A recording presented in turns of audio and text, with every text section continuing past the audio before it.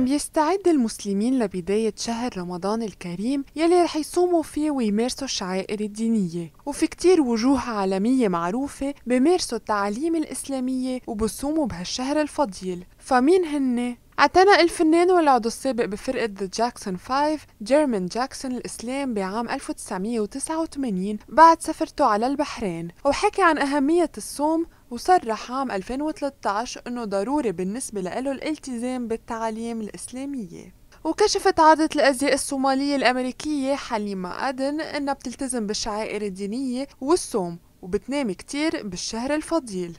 اعتنق الموسيقي المعروف سابقا بكات ستيفنز الإسلام عام 1977 وصار اسمه يوسف إسلام. وتحدث سابقا أنه الشهر الكريم بيعتبره الوقت المناسب ليتذكر الإنسان مدى الإحسان والقيمة الداخلية للصوم.